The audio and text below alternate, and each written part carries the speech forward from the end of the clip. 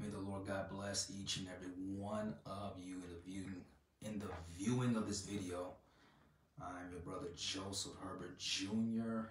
and may the God of all peace, the God of all creation, bless you with wisdom and understanding and insight, revelation knowledge. Um, I want to talk about exercising dominion exercising dominion, us as born again Christians have authority. We have authority given by the Lord Jesus Christ. We are given the authority and the power from the Most High, from the God of all creation, the Spirit of truth, the Spirit of wisdom. We have dominion. And most don't believe at the degree of their faith that they have this because you have professed believers that don't talk about the casting out of devils or the the gift of tongues you know that's that's edif- that edifies you. It edifies you to have um when you seek the presence of god you have you have the necessary edification in the seeking him in prayer seeking him in and, and the power of the Spirit, whether it's prayer, whether it's worship, or whether it is the gathering of the saints in the church, in the healthy church at that, um, and reading His Word, you receive His power, His strength. He told uh, His disciples in, in Luke, I believe it's Luke chapter 10, He says, Behold, I give you the power and the authority to tread upon serpents and scorpions and over all the powers of the enemy. Nothing shall by any means hurt you. And then he, but he also states this to not rejoice in this alone, but rejoice that your name is written in the Lamb's book of life. That's a high critical point. That's a high critical um verse and in, in your life if you are true truly born again if you are truly born again as a christian um you should know that your name is written in the lamb's book of life. And so one of the things is about dominion. Yes jesus mentioned towards the end of mark. And like i said most don't believe to the degree where they're at most just have knowledge of scripture, but they have no power. They have no no authority. Like the sons of Sceva in the book of Acts, they thought they had power to cast out devils, just like uh, uh, one of the disciples, one of the the apostles, and yet the demons asked uh, Jesus, I know, Paul I know, but who are you? And then the demons in the individual, uh, it, it says they, they, they tore them apart, tore their, their clothes off, and they ran out naked. So do you do you have dominion? And not only do you have dominion, are you exercising dominion? Because Jesus says all these signs will follow for them that believe. They will cast out devils in my name and they will speak with new tongues. And if they drink anything deadly, it will by no means hurt hurt them. And they will lay hands on the sick and they will recover. That is dominion, that is power. Jesus gives this to his people. Do you believe that? Are you capable of believing that you have this power? Because if you don't believe, it will be made manifest. And even if you profess to be a Christian and preach this, it'll be discerned. It'll be e- easily manifested in your messages or in your works that you do inside of God if you are a Christian. Now, Brother Joseph loves the Word of God as any other Christian should. And I was reading also in John chapter 5 um, when Jesus healed the impotent man. And I'm going to start in verse uh, 6. Matter of fact, verse 5. It says this, And a certain man was there which had an infirmity 38 years, when Jesus saw him lie and knew that he had been now a long time in that case, he says to him, Will you be made whole? The impotent man answered him, Sit, uh, sir, I have no man when the water is troubled to put me into the pool, but while I am coming, another steps down before me. Then Jesus says to him, Rise, take up your bed, and walk. Now, Jesus, being God manifested in the flesh, yes, he is demonstrating that you too, if you profess to be born again and believe and obey, you too have the same power. Jesus says, Greater works you have more than these. So he says, he tells the impotent man, Rise, take up your bed, and walk. At the same time, in that verse, Sin is forgiven because of his faith. Sin is forgiven. Jesus Christ, the Son of God, has power to forgive sin, which upset the Jews, was upset the Pharisees. In verse 9, it says, And immediately the man was made whole and took up his bed and walked. And on the same day was the Sabbath. Now, and it says this, the Jews, the Jews were, they, they, they noticed this guy. They noticed this guy was was why you know he was carrying his bed on the Sabbath day. They asked him, um, what you know, he that you know they asked him, um, where's that? I just saw it. Uh, the Jews therefore said to him that was cured. It is the Sabbath. Here it is. It is the Sabbath day. It is not lawful for you to carry your bed. He answered them, He that made me whole, the same said to me, Take up your bed and walk. Now I'm about to I'm about to get to this this this beautiful point right here in verse 17. But I'm in verse 11. Now pay pay close attention to this. Now, verse 12. They asked, then they asked him, What man is that which said to you, Take up your bed and walk? And he that was be he that was healed, uh, who knew not who it was, for Jesus had conveyed himself away, a multitude being in that place. And afterwards, Jesus finds him in the temple and said to him, Now, he says this, and he makes this very clear. He, he, and I believe he, he, had, he was, he was, uh, what's the word I'm looking for, Holy Ghost? Um, I believe he sternly looked at him and said this, Behold, you are made whole, sin no more, lest a worse thing come upon you. Now, it had to be something on him that caused the man to be impotent, for him not to get up, for him not to uh, be healed, even on the Sabbath day, because it was the Sabbath day that the impotent man was laying near the water. So what if he did get healed at Bethesda? At Bethesda, what if he did get healed with the stern of the morning? What if he had the strength to go into the water, into the pool, and be healed, and let the angel stir the water up, and he be healed?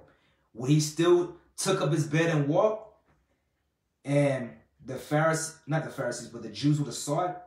That's the question. But Jesus healed them. Behold, you are made whole. Sin no more, lest a worse thing come upon you. What worse thing? Demons are terrifying people because of sin, because of open doors, because of um, what the flesh wants to do, what your mindset in the unbeliever or anyone who is loving evil more than good or in the way of the wicked. And there's many explanations about that. In verse 15, the man departed and told the Jews that it was Jesus which had made him whole. And therefore did the Jews persecute Jesus and sought to slay him because he had done these things on the Sabbath day. Now, pay close attention in this verse in 17. Now, this is what I this is what is being described as dominion. And this is the same dominion that should be in the in the life of the believer. Jesus tells the Jews, he says, my father work. My father works here and I work. That's letting the Jews know, hey, I do this because my father is in control. God the Father is in control. And he works because God because Jesus Jesus knows the Father and the Father knows Jesus. The Son honors the Father, the Father honors the Son. Therefore the Jews sought to more to kill him because he not only had broken the Sabbath, that's what they say, but said also that God was the God was his father, making himself equal with God. So they they saw that, they took it as who is this man? You just another man, as another sinful man. And but Jesus know their hearts. Jesus knew their hearts. Then Jesus answers and says to them, Verily, verily, I say to you, the Son can do nothing of himself, but what he sees the Father do. For what things soever he does, these also does the Son likewise. For the Father loves the Son and shows him all things that himself does, and he shall he will show him greater works than these, that you may marvel.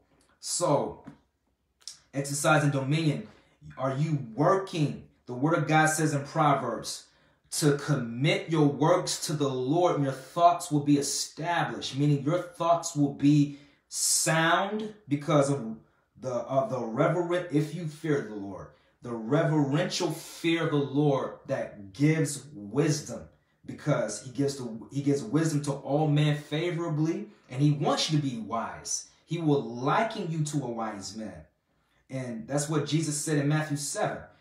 He, he, he says, Whoever hears these sayings of mine and does them, I will liken him to a wise man that built his house on the rock and the rains descend and the floods come and the winds blow and it beats on that house and it does not fall because it was founded on the rock, meaning your foundation, the beginning of your salvation is founded in Christ Jesus and, and it should be founded in Christ Jesus. So exercising dominion, Jesus lets lets the Jews know that, hey, my father works here and I work. That's what he says. That's what he's expressing in dominion. And so, if you're not exercising dominion, and there are many people who thought they had power, like uh, Simon the sorcerer, he thought he he he made himself to be a man that like he was God and deceive the people in the magic uh, sorcery witchcraft that he was doing and yet he wanted the power of the Holy Ghost. He thought he can buy the Spirit of God. He think he can buy. He thought he can buy the Holy Ghost. And so I forgot who was that rebuked him. Either Peter or Paul. Got to revisit. So he got rebuked. Simon the sorcerer got rebuked, and it, it, sharply he got sharply rebuked, thinking that he can buy the Holy Ghost. When the Holy Ghost, God is all power, he he he knows your secret thought life. He knows everything. All things are naked before the Lord. All things are given. All things are for him made, and without him nothing was made that was made. You must understand that you when dominion is established in the believer, the demons the demons tremble. The demons know when when a Christian who who serves God faithfully, who is obedient to Jesus. The demons demons scared, are scared. Demons tremble. They and, and you know holiness is the only way um and the the important uh thing for the life of the believer to keep you faithful. Holiness unto god. That's why it's very important to obey what he said to be holy for the lord your god in, in heaven is holy. I want to look, I want to transition to the book of Nahum because I was reading it and it was talking about the the wrath of the Lord. And you know when us as believer we learn in our growth in the as a believer as a Christian we grow to learn that vengeance belongs to the Lord vengeance belongs to God Almighty and we are not to avenge ourselves on anybody because that will be the flesh. That will be the the works of the flesh that are made evident, which is uh, described in Galatians chapter 5. Vengeance belongs to the Lord, yet he is a jealous God. He does not want you to serve other gods or give your heart to idols and things of this world. He does not want you to set your affections on the things on the of the earth, but yet set your affections on the things above. And he wants to give you power. He wants to give you wisdom. He wants to give you dominion. The word of God says in Psalms, I believe it's 133, if I'm not mistaken. I believe it's no, Psalms 119, 133. It says this to order my steps in your word. Let not any iniquity have dominion over me. So iniquity can have dominion over a person's life, just like the impotent man in John chapter 4 that I just read. No, is it John chapter 4? Did I just read that? John chapter 4, John chapter 5. No, John chapter 5. Yeah, I was correct. So the impotent man had was is is because of sin because Jesus told him, sin no more, lest a worse thing come upon you. So sin can have domain over a person who gives into it. When sin is conceived, when temptation is conceived and sin is being birthed, then there is consequences for that.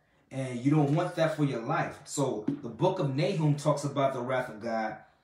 It says this in verse 1, it says, The burden of Nineveh, the book of the vision of Nahum the Elkoshite. God is jealous and the Lord revenges. The Lord revenges and is furious. The Lord will take vengeance on his adversaries. Adversaries is another word for enemy. And he reserves wrath for his enemies. The Lord is slow to anger. He is slow to anger. You got to recognize that. Anger, when you sin out of anger, you stir up the anger of the Lord. So the word of God says in James that to be swift to hear, slow to speak, and slow to wrath, because the wrath of man does not produce or work the righteousness of God. God is slow to anger, so you must be slow to anger. And it says, The Lord is slow to anger and great in power, and will not at all acquit, or he will not acquit the wicked, meaning he will not uh, leave the wicked guiltless. The Lord has his way in the whirlwind and in the storm, and the clouds are the dust of his feet. He rebukes the sea and makes it dry and dries up all the rivers. Bashan languishes, meaning Bashan in these cities. Me see. Bashan languishes and Carmel and the flower of Lebanon languishes. Languishes means being made weak, being made feeble. So Bashan was made feeble. Bashan being made feeble, Carmel being made feeble and weak, and, Le- and Lebanon being made feeble and weak. Because of the Lord's rebuke, the Lord's uh, power and authority, the Lord is the creator of all things. He should be greatly feared and greatly reverenced. And so that is authority. You see that and you see that in Jesus. You see that in because he is the, the, the number one example out of all the righteous prophets. King David, you know, there's ex- exercise dominion. Um, the prophet Samuel exercised dominion. All these uh, major and minor prophets exercised dominion, and because the spirit of the Lord was on them. And it says this in verse 5 The mountains quake at him, the Lord, and the hills melt, and the earth is burnt at the presence. Yes, the world and all that dwell therein. Who can stand before his indignation? Meaning his holy anger, his his wrath. You as a believer, this is this should put the holy the holy fear of the Lord in in you. In you to understand that the wrath of God abides on the children of disobedience and when you when you die when a person dies in iniquity or dies in sin there is harsh consequences the indignation of the Lord is at hand. And so he judges your life. He judges your thoughts. He judges your words and your deeds. Everything you have ever thought of and said. When you die as an unbeliever or die in pride and rebellion, there is consequences and you'll be tossed in hell with the demons and you'll be tormented. And then the second death, which is the lake of fire, you'll be you'll be judged, you'll be you be judged by the Lord, meaning you'll be at the throne of the Lord and judged. and then the lake of fire, which is the second death. So, who can stand before his indignation? The proud will say, I can. The devil thought he could. The devil, I don't, you know, it sometimes it baffles me because when Lucifer was in heaven, I'm like, man, this man was in glory. This man was in the presence of the Lord with the holy angels. All the angels was holy at the time. And the human mind cannot fathom how beautiful heaven is. But yet, Lucifer said, I will ascend into the I will ascend into the clouds. The pride was manifested in in the heart of Lucifer because the Lord uh, it says the he said it in his heart. The Lord saw this in his heart. I will be like the Most High. I will send into the mountain. Let me go there real quick.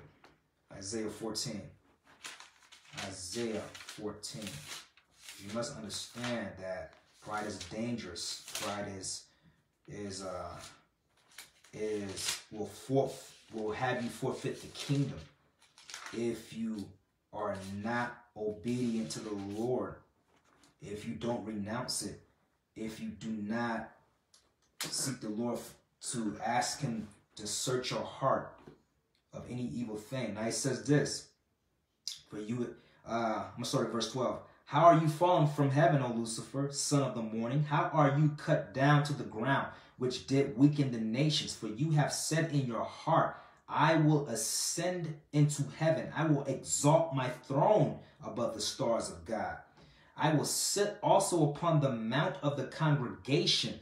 In the sides of the north, I will ascend above the heights of the clouds. I will be like the Most High. So, Satan, Lucifer said all these things in his heart because the Lord saw it in his heart. He knows all things. All things are naked before the Lord. This is what Jesus saw. He said, I saw Satan fall from heaven as lightning to the ground. So the next verse, the next verse it says, Yet you shall be brought down to hell to the sides of the pit. Brought down to hell.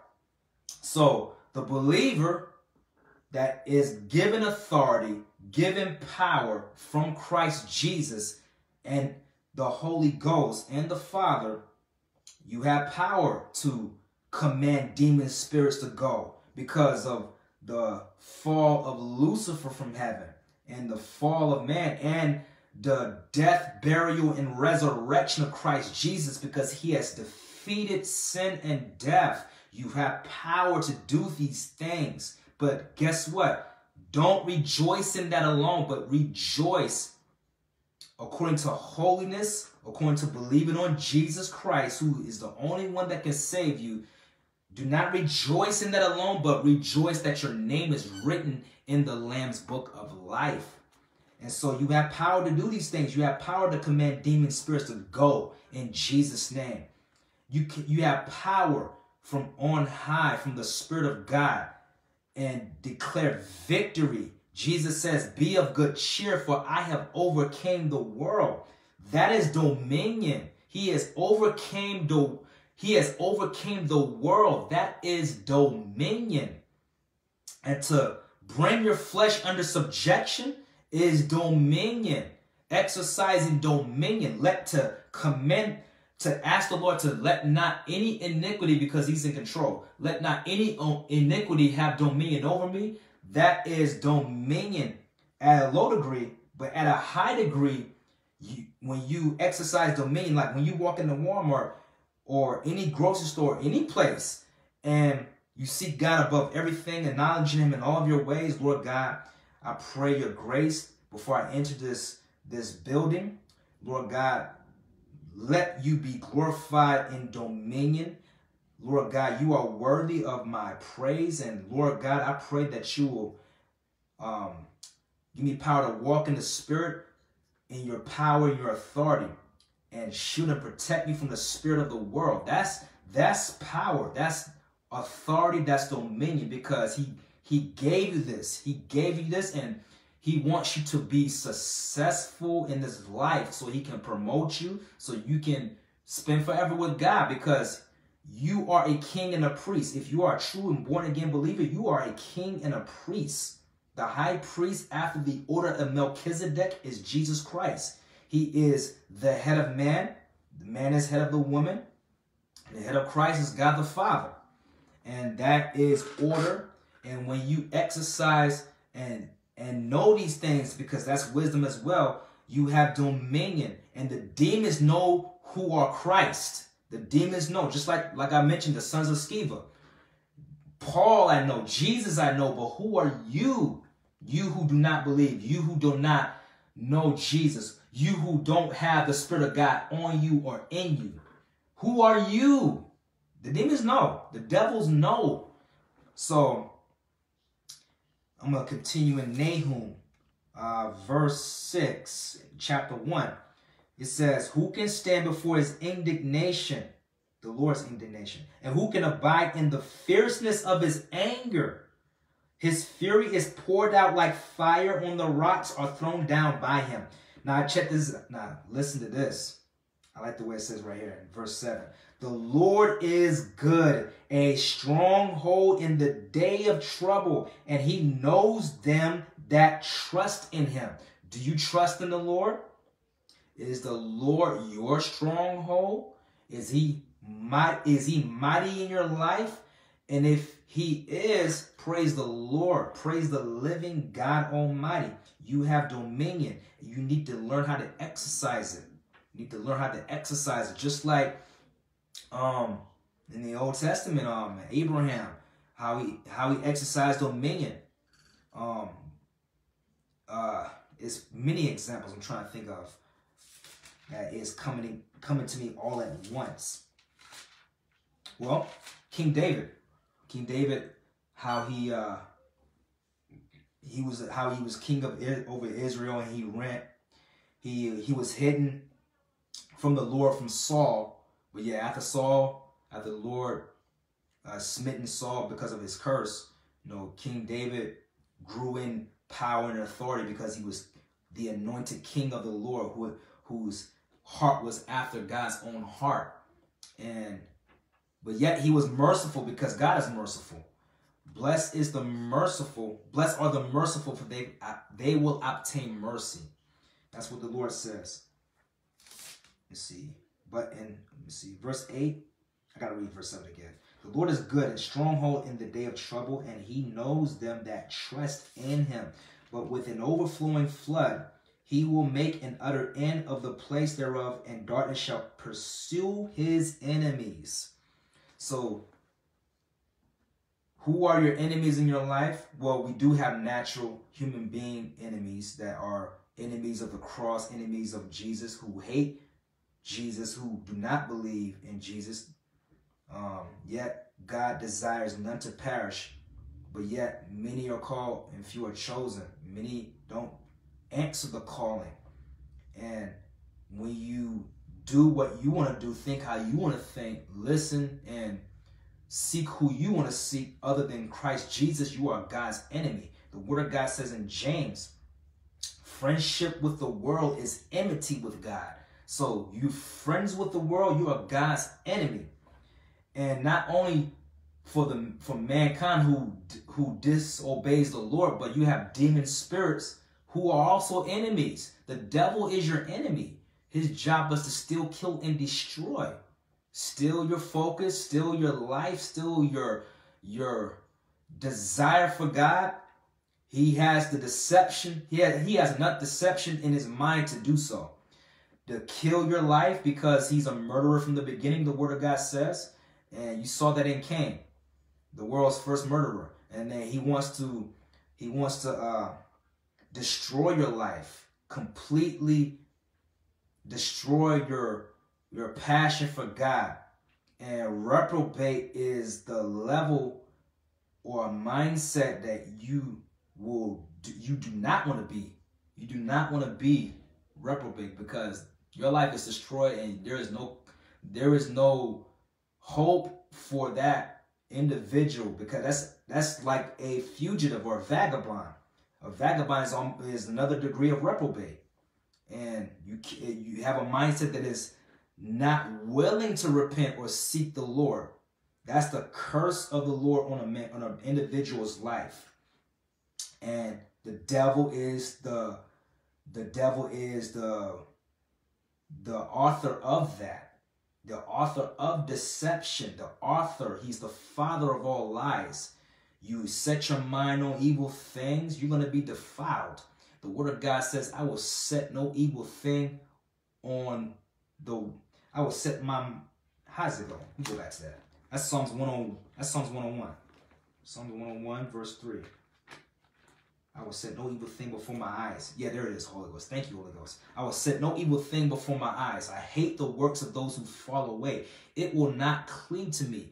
A perverse or froward heart will depart from me. I will not know a wicked person. That's the Lord on, on David. I will not know a wicked person. Didn't Jesus say that? Didn't the Lord say that he will say that? Depart from me, I never knew you, you workers of iniquity. So you work iniquity, you work for the devil. You work iniquity, you work lawlessness, you work for the devil. That, that's that's just a straightforward, honest truth according to the word of God.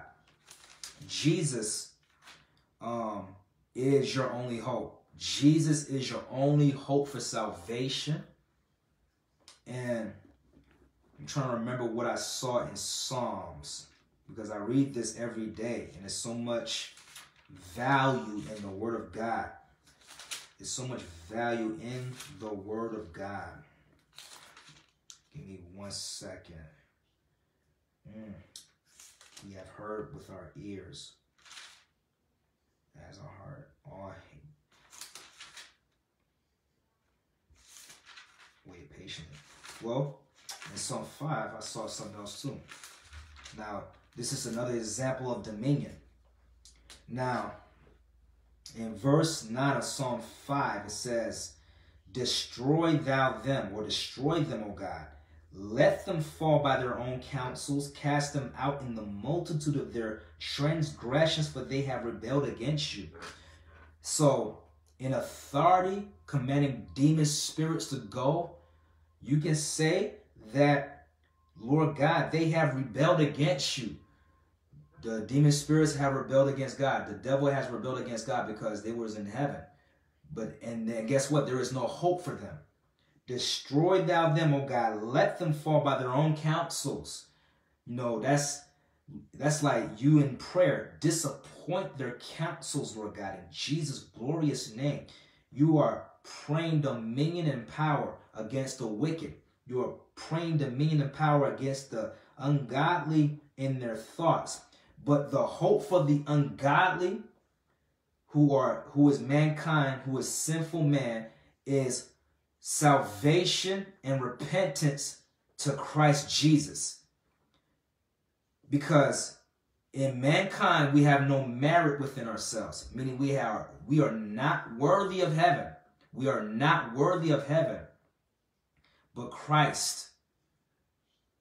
And if you can see that, you need to cast yourself on Jesus. Cast, throw yourself on Christ Jesus. Repenting of all dead works, even good deeds. Brother Joseph, what do you mean by repenting of good deeds? Repenting of everything that you have trusted and throwing yourself on Christ alone. That is your hope. He is your only hope to spend forever with God. To spend forever with God because the testimony of Jesus Christ is the spirit of prophecy. And when you have these things engraved in your heart and meditating on the promises of God for your life, you have victory. You are commanded of the Lord to be of good cheer, for he has overcame the world. His meat was the will of the Father. Jesus did everything perfect. He was perfect in thought, word, and deed, and he knew no sin. Yet he took our punishment that we all rightly deserve He defeated sin and death, rose again on the third day with great power and glory. Now, you want to see dominion? I'm going to show you dominion. I'm going to show you dominion. Matthew 25, it says this. Now, before I read Matthew 25, in the, it talks about the last couple of chap the last couple of verses of this chapter. It talks about the, the day of the Lord. But do recognize that Revelation 1 says, Behold, he comes in the clouds, and every eye will see him, even they that pierced him. All kindreds, meaning all nations, all tongues, will wail because of him. Even so, amen. That's what it says. Now, Matthew 25, Jesus comes, Jesus comes in the clouds. Where I'm at. Was that verse I started at? Take therefore the time. No, it's and him shall be gathered. Okay, right here in verse 31. Jesus comes in the clouds. Every eye will see him, even they that pierce him. It says this in verse 31 of Matthew 25. When the Son of Man will come in his glory, and all the holy angels with him, then he will sit on the throne of his glory. This is authority and this is dominion because Jesus Christ is Lord. And before him will he gather all nations, meaning everyone will stand before the Holy One of Israel. Everyone will stand before Christ Jesus the Lord. All he, him will he gather all nations and sh- and shall separate them one from another as a shepherd divides his sheep from the goats. And guess what? He will set the sheep on his right hand and the goats on the left. Now, those on the right hand are the sheep. Those are the on the right hand are those who believe on Jesus Christ, who put their trust, who are genuinely born again, who have trusted in him in all of their ways, who have endured to the end, and that are made right with God the Father because of Christ. Now it says this on the right hand, he will gather them on the right hand, and he shall set the sheep on his right hand, but the goats on the left. Then will the king say to them on his right hand, Come, you blessed of my father, inherit the kingdom prepared for from the foundations of the world. For I was hungry and you gave me meat. I was thirsty and you gave me drink. I was a stranger, you took me in. I was naked and you clothed me. I was sick and you came to me. In prison and you visited, visited me. Then shall the righteous, remember the sheep on the right hand are righteous. That's why it's called upright. That's why we are made upright because we'll be up and on his right hand. And uprightness describes holiness. It says in verse 37, Then will the righteous answer him, saying, Lord, when did we see you hungry and fed you, or thirsty and gave you drink? When did we saw you a stranger and took you in, and naked and clothed you? Or when did we see you sick or in prison and came to you? And the king will answer and say to them, Verily I say to you, inasmuch as you have done it to the one of the least of these, my brethren, he calls them brethren. He calls us, he will call, if you are righteous with God and you are a Christian, he will, he will call you brethren. He will call you brethren. Yes in Jesus' name. If you are a Muslim, you will not be on the right hand of God. If you are a Muslim, you will not be here on the right hand of God. Muslims believe that Jesus Christ is a prophet. Muslims believe that Jesus Christ is a prophet. But let me, I'm to explain that to you. I hope, and I hope you stay. I'm to explain that to you. But let me finish reading the goats on the left. What happens to the goats on the left? And before I explain that, I, I said many videos ago, you have the world that use the term GOAT, which in acronym says greatest of all time. So you have celebrities that believe that they're the greatest of all time in pride and competition. Now, then shall he say also to them on the left hand, Depart from me, you curse into everlasting fire prepared for the devil and his angels. For I was hungry and gave you no meat. I was thirsty and you gave me no drink. I was a stranger, you took me not in. Naked and you clothed me not. Sick and in prison and you visited me not.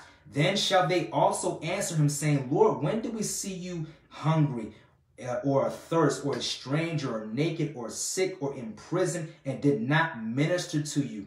Then shall he answer them, saying, Verily I say to you, inasmuch as you did not to one of the least of these, you did not do it to me. And these, the these will go into everlasting punishment. The goats on the left will go into everlasting punishment. Guess who the goats are? Muslim, Hebrew Israelites, uh, Mormons, Jehovah's Witnesses, and every false religion that denies the deity of Jesus Christ by not believing Jesus Christ is God manifested in the flesh, you will have everlasting punishment and you will be in hell. Roman Catholics, yes, they will end up in hell. There will be the goats on the left. If you are truly born again as a Christian, Christ like, and have the Holy Ghost and endure to the end and obedient to Jesus Christ, you will be the sheep on the right hand. These will go into everlasting punishment, but the righteous to life eternal. And the person who is a Muslim, please believe and notice that Jesus Christ is not a prophet. He was just not, he was not just a prophet. Would a prophet lie? Would a prophet lie? No, of course not. The Quran says, and I again, I said this in my last video. I encourage no one to dive into the Quran. I encourage no one to Google search on what it says in the Quran, but I know that it says this that the new covenant cannot be corrupted, meaning the New Testament and the Word of God cannot be corrupted. So if you believe that Jesus Christ was just a prophet, then you know he's not lying when he says, I am the way, the truth, and the life, and that no one comes to the Father but by me. Please believe it says that. In John chapter 4, is it 4? Hmm. No, no, John chapter 6. And li listen to this. Listen to this. I don't receive, and I don't receive a greeting, a greeting. And I'm, I'm not I'm not a respecter of persons because the Lord God commanded his people to be not respecter of persons. God's not respecter of persons. So why should I respect your belief if it's not of the Lord Jesus Christ? So it says this. Uh, John chapter 6, therefore they gathered them together and filled the twelve baskets with the fragments of the five barley loaves and remained over and above to them that had eaten. Then those men, when they had seen the miracle that Jesus did, said, This is of it. Now, these people, when they seen the miracles that Jesus Christ the Lord has done, they thought this is of a truth. They said, This is of a truth that prophet that should come into the world. They thought he was a prophet, but then Jesus gives them, he says, when Jesus therefore perceived that they would come and take him by force to make him king, he departed again into the mountain himself alone. So he went up and prayed. And then so let me, let me show you that Jesus Christ is more than just a prophet. Jesus answered, and, answered them and said, Verily, verily, I say to you, you seek me not because you saw the miracles, but because you did eat the loaves and were filled. Labor not for the meat which perishes, meaning do not be in works in other doctrines or in other beliefs because they all perish. But for that meat, labor for that meat that endures to everlasting life. Jesus is that meat Jesus, he said, My flesh, you may not understand this if you are still watching. Jesus' flesh is that meat. He says, My flesh is meat indeed, my blood is drink indeed. That's what he said. And without it, you will not have life eternal. You you in uh, in other false religions, you have not eternal life because you have not believed on the name of the only begotten Son of God, who is Jesus Christ. It says, labor for that meat that labor for that meat that endures to everlasting life, which the Son of, of Man shall give to you. For him has God the Father sealed. God the Father has sealed his Son Jesus Christ as Lord and Savior, as the only begotten, that whosoever believes on him will not perish but will have everlasting life. And that's a cross reference between that and John 3.16. And so here is here is prophecy. I will say that. I will here's prophecy. He who does not believe is condemned already. He who believes is, is not condemned, but he who believes not is condemned already because he has not believed in the only begotten Son of God. That's prophecy. You must believe on Jesus to be saved and to be truly converted so that you you too can spend forever with God. And be not carried about with diverse and strange doctrines, for it is a good thing that the heart be established with grace and not with meats that have not profited them who have been occupied therein. That's Hebrews 13 and 9. So strange doctrines is the Quran. Strange doctrines is the Watchtower. Strange doctrines is the Book of Mormon. Strange doctrines is other doctrines that corrupted the minds and hearts of Hebrew Israelites and other false belief belief uh, doctrines. They get tossed to and fro by every wind of doctrine, and they get they they they are deceived. God, the word of God says, "Be not deceived." God is not mocked. So your dishonor before the Lord Jesus Christ, Jesus Christ, and just believing that He is a prophet, you are mocking the Lord of all creation. You are mocking God the Father and the Lord Jesus Christ. You are mocking His express image of his person. You are mocking the brightness of the Father's glory, who is Jesus Christ, who is Lord and Savior. So, my strong encouragement repent and believe the gospel of Jesus Christ and endure to the end by following him, by being faithful and obedient to you, uh, obedient to him, and you too will be the sheep on his right hand, enduring forever with Christ Jesus. This is Brother Joseph Herbert Jr. This is for his glory.